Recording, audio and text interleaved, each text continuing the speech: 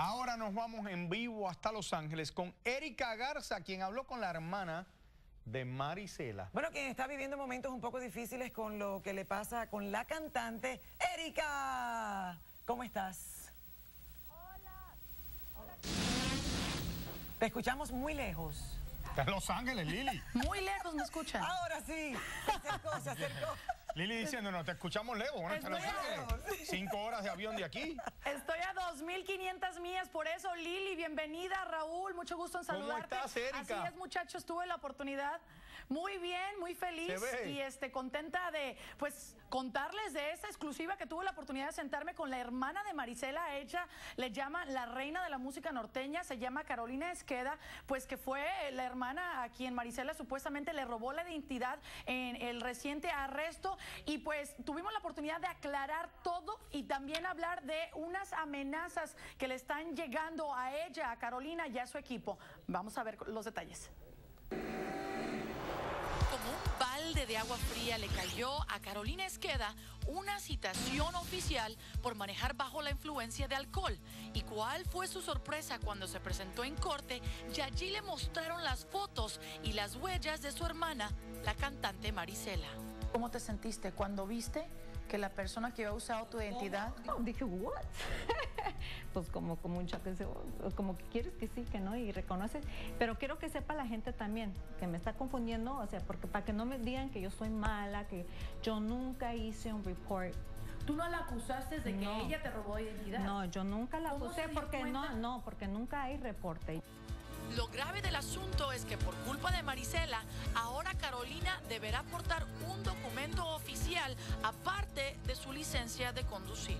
Si no cargo ese papel y un día que me paren knock on wood, o sea, me van a arrestar, porque si yo no tengo este papel, a mí me van a llevar a la cárcel. No obstante, la reina de la música norteña dice no guardarle rencor a su hermana. Pero también tienes que ver que es mi hermana aunque me haga porque me las ha hecho, pero yo la quiero. Sé, yo sé cómo es ella. Ella siempre ha sido una niña, una... Ahora ya es muchacha grande. O sea, traviesa, pero en todos modos, o sea, la quiero porque es mi hermana. Y a pesar de que ha pasado varias veces, Carolina decidió no acusar a su hermana. ¿Pero por qué? No, no la acusé. ¿Por qué? Porque si mi hermana, soy humana, mi hija, es familia, es sangre, ¿cómo la voy a acusar? Pero no es que no todas las personas. Y no, y no, no te voy a decir que no nos odiamos, o sea, come on. nomás acuérdate que Mari es más, es, ella es, este, es exagerada y toda la onda. Yo no soy así, yo soy, yo soy normal, una persona normal. So toma los problemas normalmente como te digo, hay un problema, hay solución todo el tiempo. Es un proceso. Entonces el de ella yo lo tomo así. Lo único que yo estoy hablando es para que la gente vea que nos esté molestando, que no nos moleste, porque yo no tuve nada que ver en el entierro, ni tampoco la gente que trabaja conmigo. Nosotros no creamos este problema. Al parecer, varios fanáticos de Marisela están molestos con Carolina y hasta la han llegado a amenazar me comienzan a decir que mala hermana, que si no me cayó la boca, al, al Javi. ¿Tú conoces al Javi? Javi, Javi es el que me arregla los, los outfits, es el que, el que me asiste a todo. Si vamos a un lugar es el que me acompaña. Él para todo es como mi right hand. O sea, es como yo, mano derecha. Sí, para todo. Entonces él una vez me llamó y me dice, Caro, Carito, dice, me hicieron este y vi el email, te lo voy a enseñar para que digas que no estamos mintiendo. Una persona este, le escribe que, que si no se calla y que si no sigue inventando cosas, que, que lo van a tronar. Y tenemos que aclarar, Raúl y Lili, que pues todo esto es cosas son suposiciones, no este, este supuesto robo de identidad por parte de Marisela. Lo que sí les puedo decir que esto no es el final de esta situación. Aparentemente hay otras, otras veces que Marisela, supuestamente otra vez, ha usado la identidad para proteger su identidad en casos de, infracciones por manejar a alta velocidad. Les, les digo que yo tuve la oportunidad de mirar el correo electrónico donde un chico de Baja California de Mexicali, Baja California, le mandó un correo por MySpace al asistente de Carolina diciendo que si no dejaba de hablar de Marisela, le iba a ir mal. Ok, Erika, pero te quiero preguntar lo de la licencia.